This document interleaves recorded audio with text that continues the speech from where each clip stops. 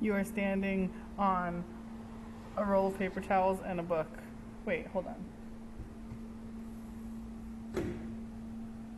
Temporary closing. Okay. So, in preparation for not doing daily videos anymore, I am working on a piece uh, in Maya that um, is about the Seattle trip that I just took, um, or at least that's where the scans came from. So I just want to show you my progress today.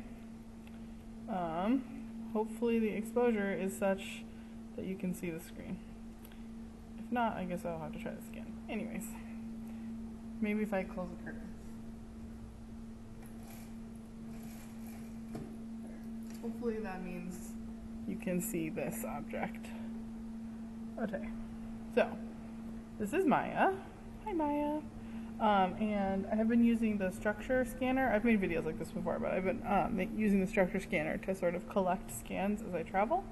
Uh, so this one is my kitchen, and then there's my living room.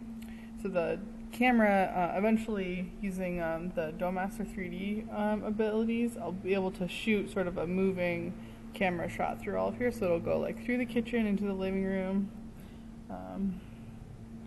You can one of my favorite parts so far is this shot from the living room because you can see um, right here you can see like into the kitchen and then this lump right here is actually Lola who is my gato and then um, see.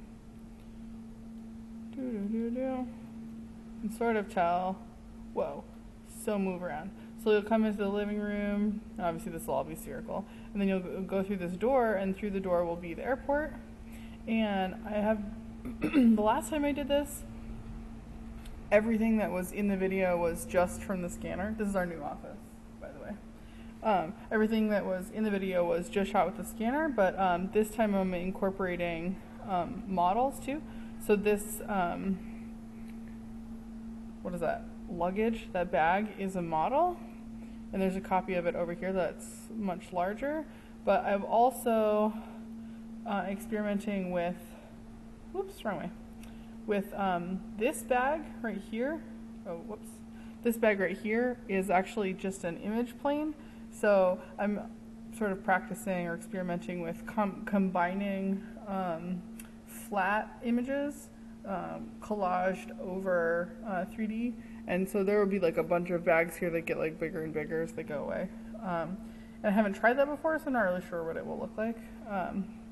So there are more pieces. Like this is from the San Francisco airport. Let's see, so turn this way and go out. So see this whole area um, will be more detailed. There'll be more bags. I'll probably put like, uh, they'll look like cardboard cutouts, but like other people walking through airports and stuff um, all cut out. But I just want to show like this is one of the reasons I'm going to stop doing daily videos is so I can have more time to do um, less editing and more constructing of uh, videos. I really like how big this bag is, but so yeah, that's what I'm working on. Uh, goodbye.